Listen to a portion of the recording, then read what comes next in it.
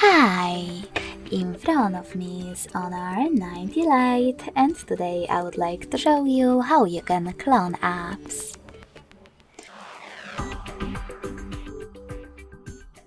Begin by going into settings and tapping on apps section. Then click on app twin and click on the switcher next to one of your available apps that you wish to clone. Then go back and check your app. As you can see mine was successfully cloned.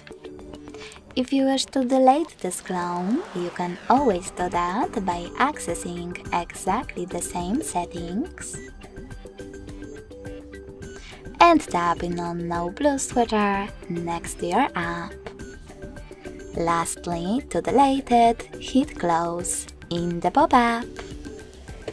Thanks so much for watching. If you enjoyed this video, don't forget to leave a like, comment and subscribe.